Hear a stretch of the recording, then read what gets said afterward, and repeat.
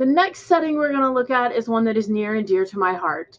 You need to get into your inbox in another tab while you're watching or listening to this video, and you want to get into all of those settings, okay, general, and you want to take a look one, two, three, four, five down, okay? This is my rant about replying all. That's the only thing that's going to be in this video. Your default reply behavior had better be on reply. This means that when you reply to an email, it's just going to reply to the person that sent it.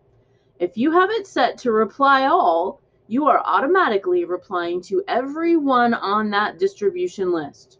So when an email goes out to everybody on your floor or in your grade or at your university or whatever, pick pick your situation. If you have this set to reply all, every time you reply to an email, you are replying to all 176 million of those people. And everybody's going to get your email that says thanks, or congratulations, or okay, or I'll be there, or whatever it is. Okay? You don't want to be that person.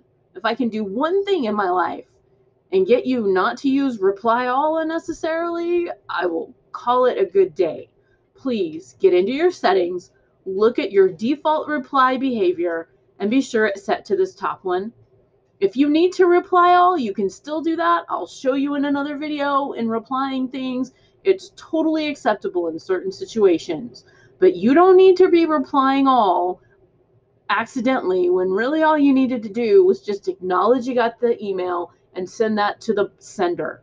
Okay? So please check this, check yourself be sure that your default behavior is set to reply and not to reply all. Thank you. Rant complete.